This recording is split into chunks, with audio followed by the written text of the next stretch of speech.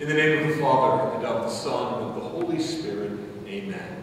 The Lord be with you. And with your spirit. My friends, as we gather to celebrate Eucharist for this fourth Sunday of Ordinary Time, we remember the power of God's Word, a word that is proclaimed amongst us, a word that challenges us to grow as we follow the Word Himself, Jesus Christ.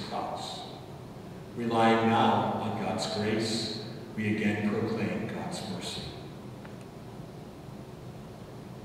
Lord Jesus, you Almighty God and Prince of Peace, Lord, have mercy.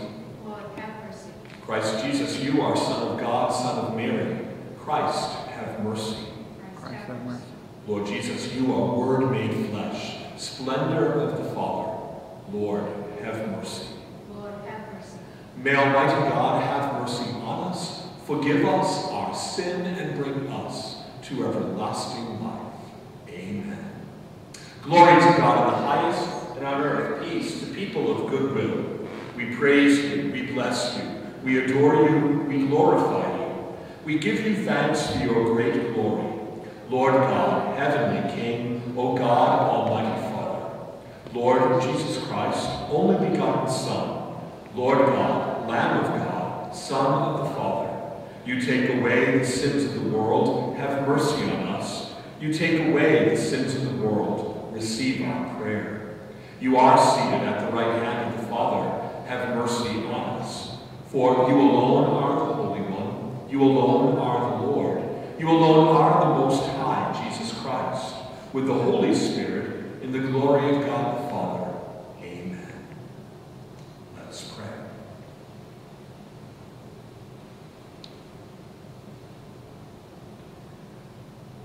Grant us, Lord our God, that we may honor you with all our mind and love everyone in truth of heart. We pray through our Lord Jesus Christ, your Son, who lives and reigns with you in the unity of the Holy Spirit, one God, forever and ever. Amen.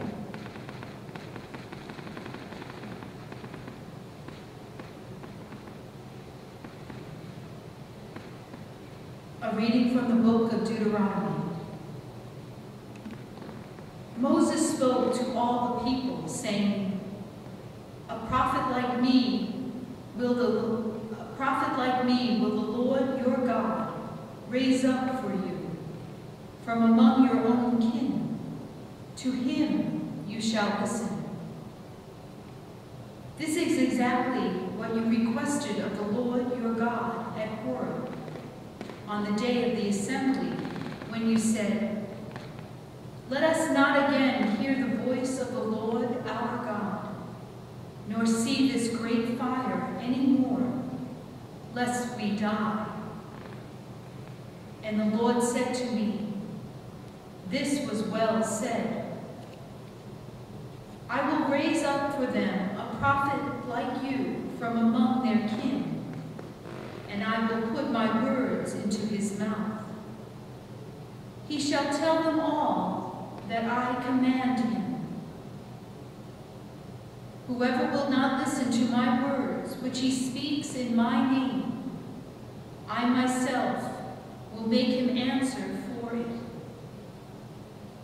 But if a prophet presumes to speak in my name, an oracle that I have not commanded him to speak, or speaks in the name of other gods, he shall die. The word of the Lord. Thanks be to God.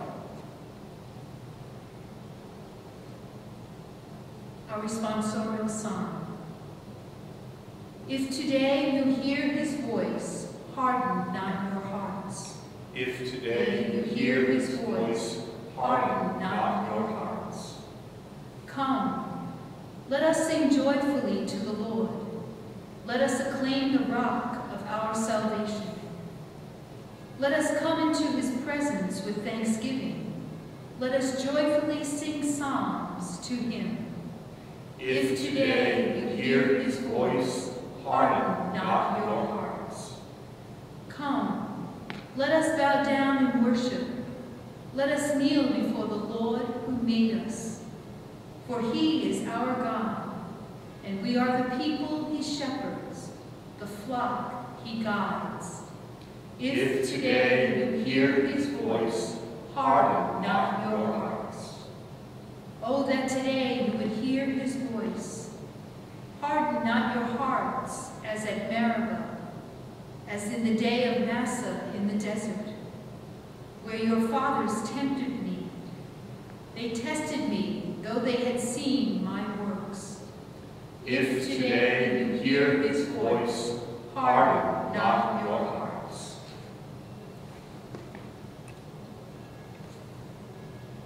A reading from the first letter of St. Paul to the Corinthians. Brothers and sisters, I should like you to be free of anxieties. An unmarried man is anxious about the things of the Lord, how he may please the Lord. But a married man is anxious about the things of the world, how he may please his wife, and he is divided. An unmarried woman or a virgin is anxious about the things of the Lord, so that she may be holy in both body and spirit. A married woman, on the other hand, is anxious about the things of the world, how she may please her husband. I am telling you this for your own benefit, not to impose a restraint upon you, but for the sake of propriety and adherence to the Lord without distraction. The word of the Lord. Thanks be to God.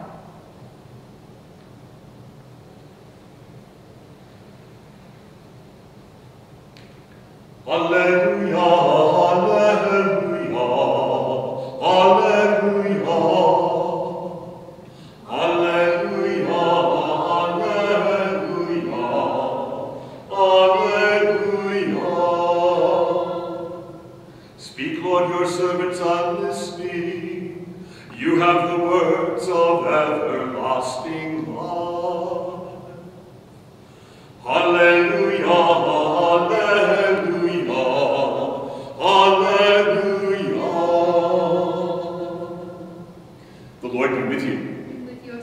A reading from the Holy Gospel according to Mark. Glory to you, O Lord. Then they came to Capernaum, and on the Sabbath Jesus entered the synagogue and taught. The people were astonished at his teaching, for he taught them as one having authority and not as the scribes. In their synagogue was a man with an unclean spirit. He cried out, What have you to do with us, Jesus of Nazareth? Have you come to destroy us? I know who you are, the Holy One of God. Jesus rebuked him and said, Quiet, come out of him. The unclean spirit convulsed him, and with a loud cry came out of him. All were amazed and asked one another, What is this? A new teaching with authority. He commands even the unclean spirits, and they obey him. His fame spread everywhere throughout the whole region of Galilee. The Gospel of the Lord. Praise to you, Lord Jesus Christ.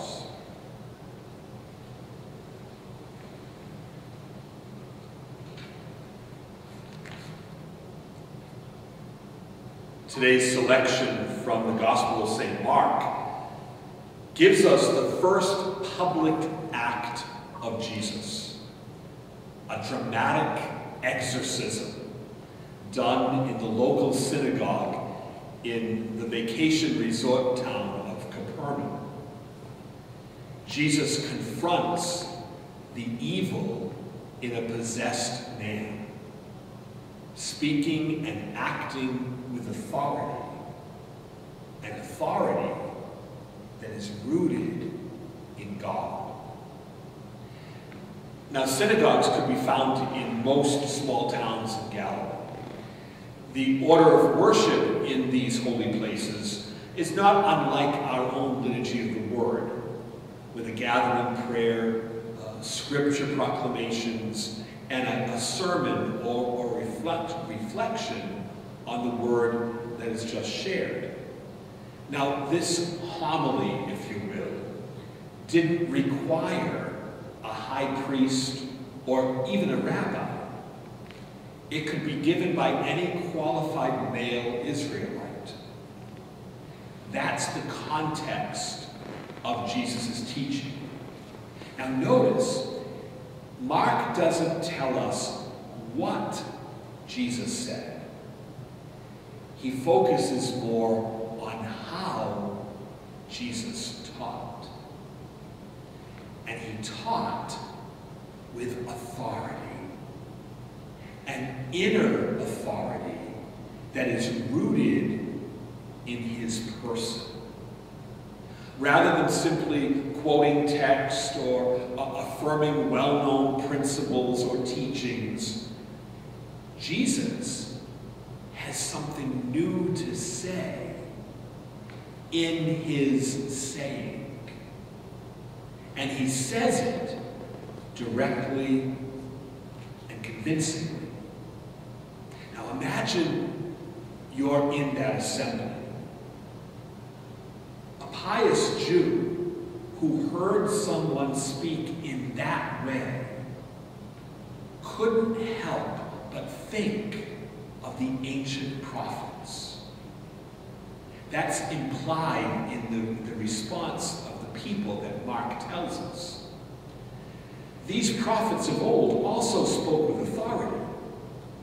In their words, the people knew the power God's word. But this prophetic voice in Israel has been silent for many generations.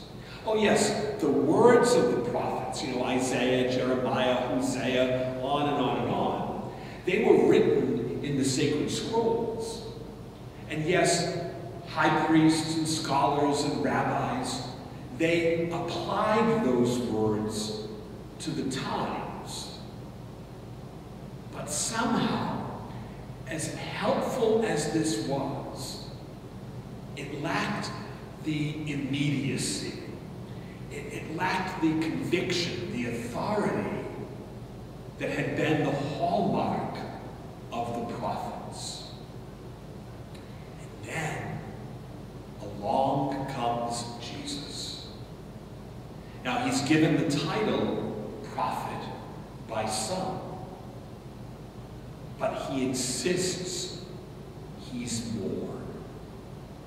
Jesus not only proclaims the word, he is the word. The word of God. The revelation of God in human flesh.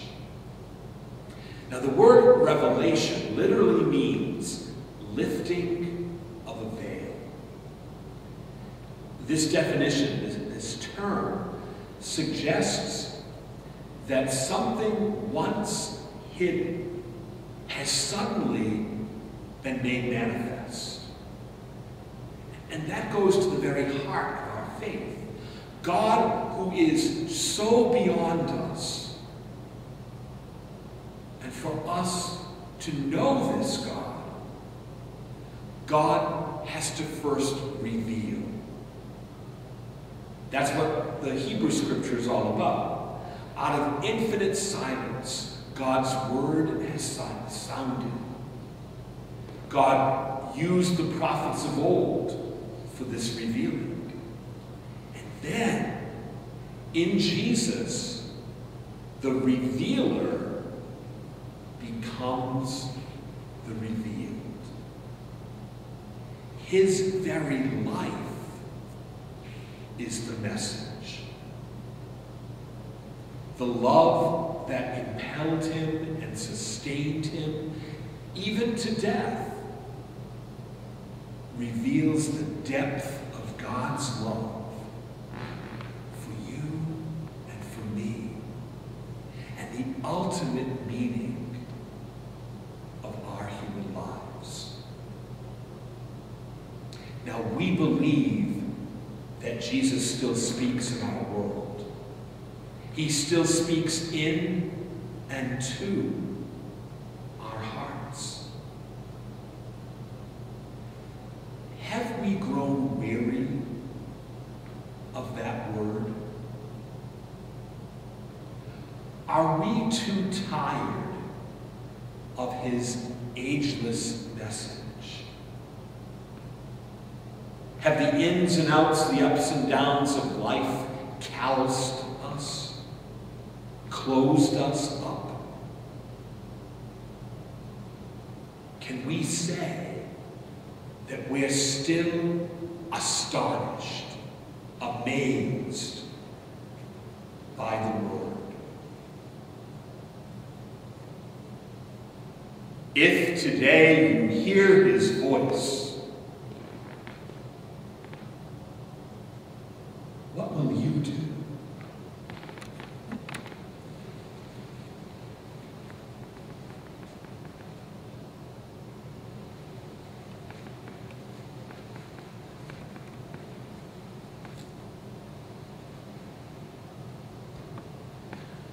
We profess our faith. I believe in one God, the Father Almighty, maker of heaven and earth, of all things visible and invisible. I believe in one Lord, Jesus Christ, the only begotten Son of God, born of the Father before all ages, God from God, light from light, true God from true God, begotten, not made, consubstantial with the Father. Through him all things were made. For us and for our salvation, he came down from heaven and by the Holy Spirit was incarnate of the Virgin Mary and became man. For our sake he was crucified under Pontius Pilate. He suffered death and was buried and rose again on the third day in accordance with the Scriptures. He ascended into heaven and is seated at the right hand of the Father. He will come again in glory to judge the living and the dead, and his kingdom will have no end. I believe in the Holy Spirit, the Lord, the giver of life, who proceeds from the Father and the Son, who with the Father and the Son is adored and glorified, who has spoken through the prophets.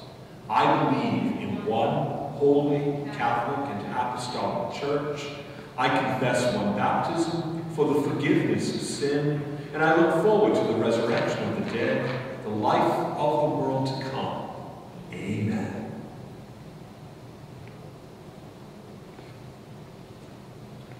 Strengthened and challenged by God's word, we offer our petitions. For God's holy people, the church, that we will have open and listening hearts to receive God's word and act upon it. We pray to the Lord. Lord, hear our prayer. For peace in the world, that all people will live together in peace, reverencing and respecting the great diversity of God's creation. We pray to the Lord. Lord, hear our prayer.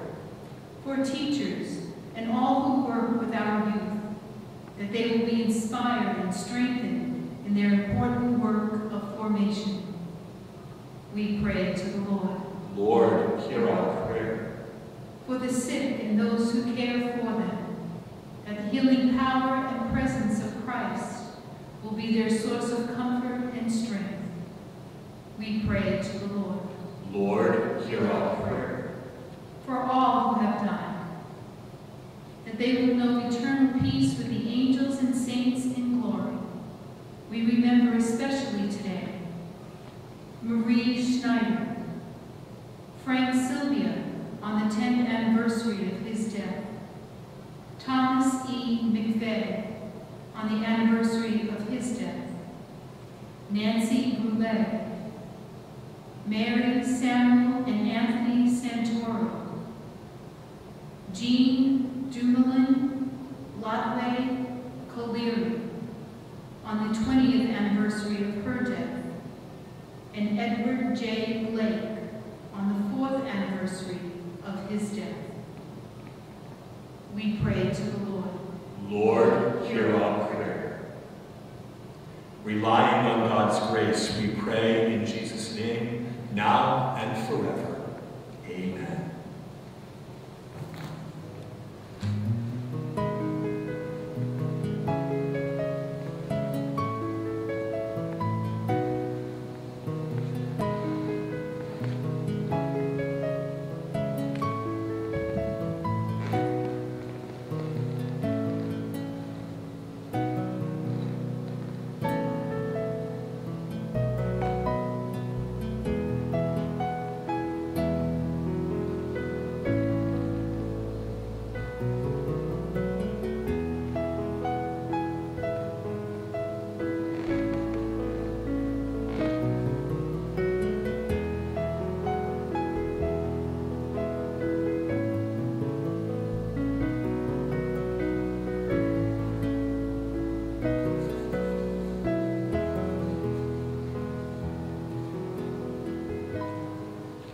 Friends, pray that my sacrifice and yours will be acceptable to God, our loving Father.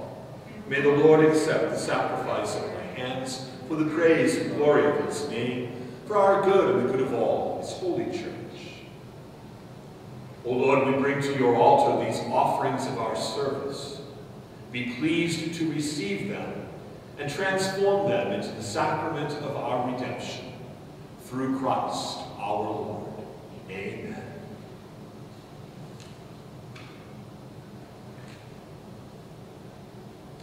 The Lord be with you. With your spirit. Lift up your hearts. We lift them up to the Lord. Let us give thanks to the Lord our God. It is right and just. It is truly right and just to give you thanks and to raise you a hymn of glory and praise, O Lord, God of infinite goodness. For by the word of your Son's gospel, you have brought together one church from every people, tongue, and nation. And having filled her with life by the power of your Spirit, you never cease, through her, to gather the whole human race into one. Manifesting the covenant of your love, she dispenses without ceasing the blessed hope of your kingdom, and shines bright as the sign of your faithfulness, which in Christ Jesus our Lord you promised would last for eternity. And so with all the powers of heaven, we worship you constantly on earth, while with all the church, as one voice, we acclaim. Holy, holy, holy, Lord God of hosts, heaven and earth are full of your glory. Hosanna in the highest. Blessed is he who comes in the name of the Lord. Hosanna in the highest. You are indeed holy and to be glorified, O God, who loves the human and who always walks with us on the journey of life. Blessed indeed is your Son, present in our midst when we are gathered by his love. And when, as once for the disciples, so now for us, he opens the scripture and breaks the bread. Therefore, Father most merciful, we ask that you send forth your Holy Spirit to sanctify these gifts of bread and wine, that they may become for us the body and blood of our Lord Jesus Christ. On the day before he was to suffer, on the night of the Last Supper, he took bread and said the blessing, broke the bread, gave it to his disciples, saying, Take this, all of you, and eat of it. For this is my body, which will be given up for you.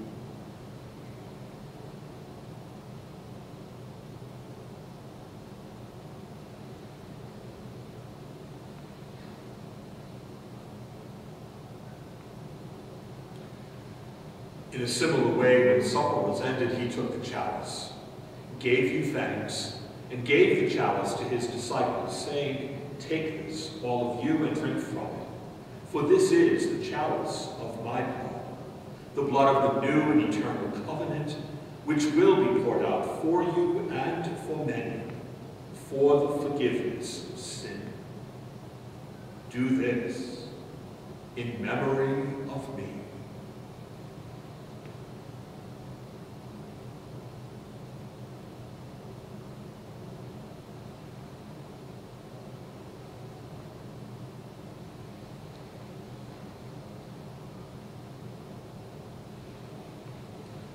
The mystery of faith.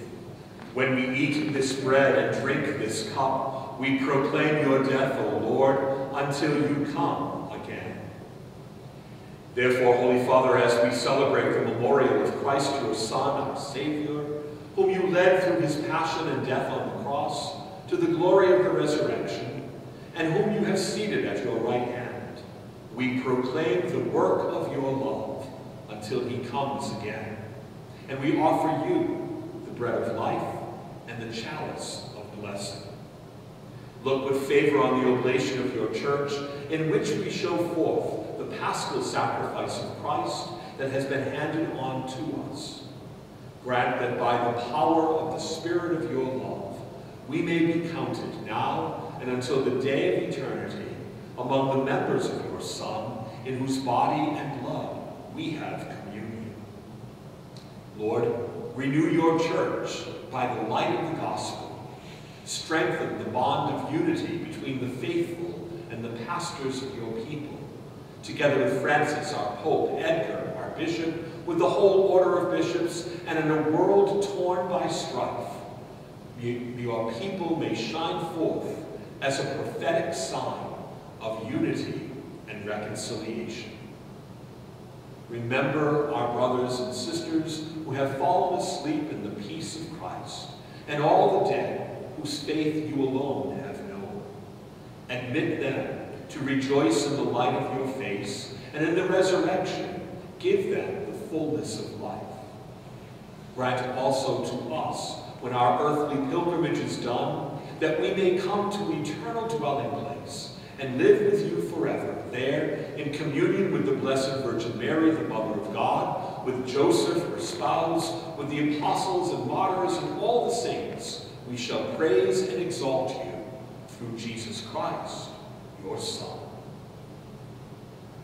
Through him,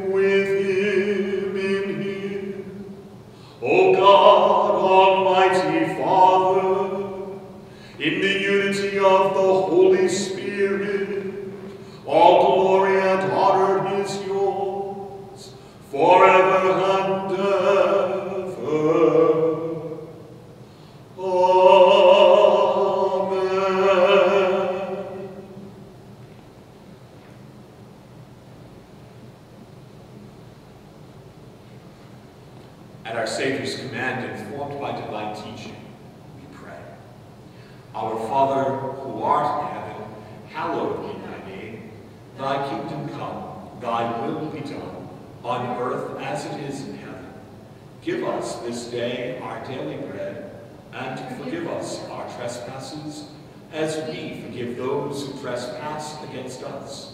And lead us not into temptation, but deliver us from evil. Deliver us, Lord, we pray, from every evil.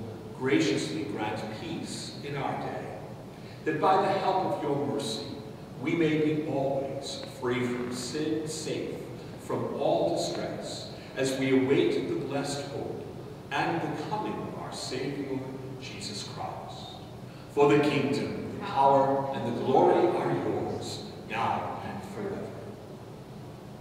Lord Jesus Christ, who said to your apostles, Peace I leave you, my peace I give you.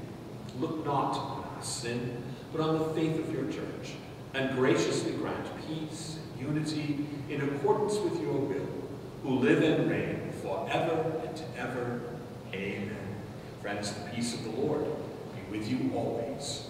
Your spirit. We are in Christ's presence as we share his peace.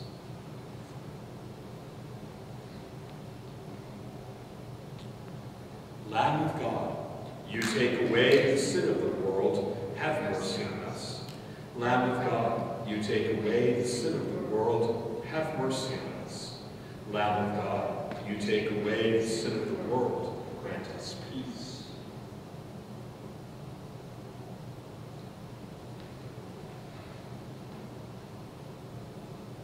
Behold the Lamb of God, behold him who takes away the sins of the world. Blessed are those called to the supper of the Lamb. Lord, I am not worthy that you should enter under my roof, but only say the word, and my soul shall be healed.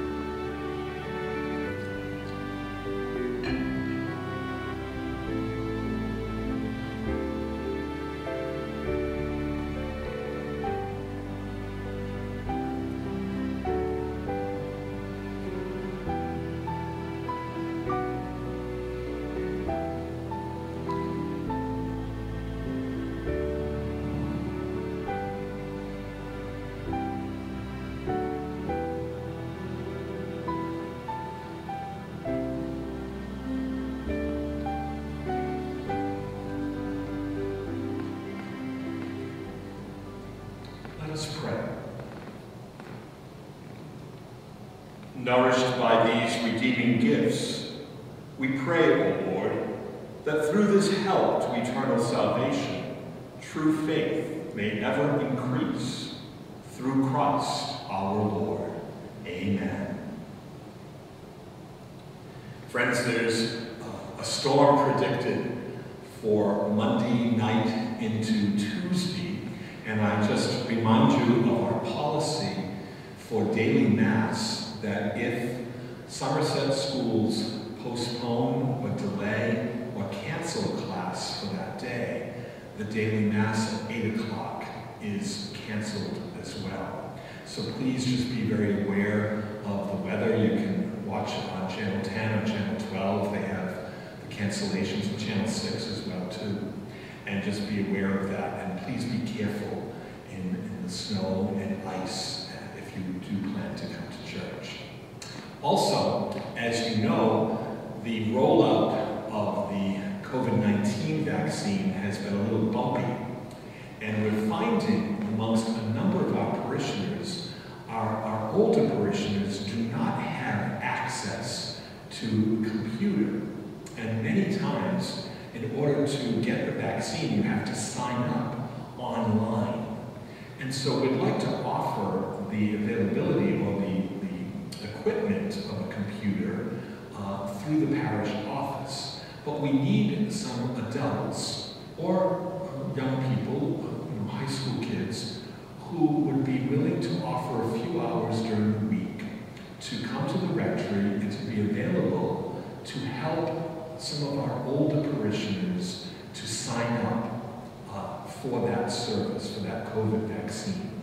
If you are able to help a few hours um, anytime during the week, could you please give Wendy a call at the parish office? And then we'll uh, get the word out to our, our folks in order to help them to get this very important vaccine. I've been lucky, I have my first dose, and I got word uh, when I had to go for the second on uh, February 16th. So uh, let's all try to get it so we can move beyond this uh, lockdown.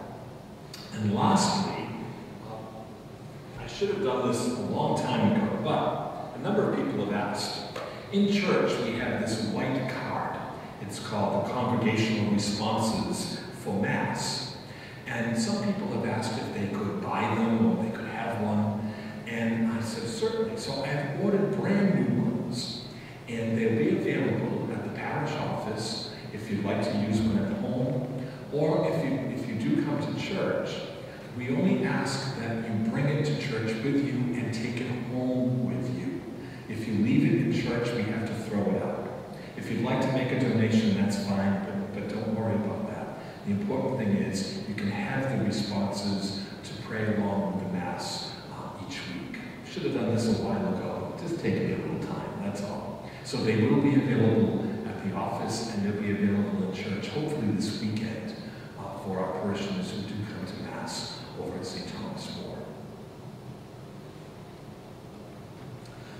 The Lord be with you. And with your spirit. May our Almighty God bless you, Father, Son, and Holy Spirit.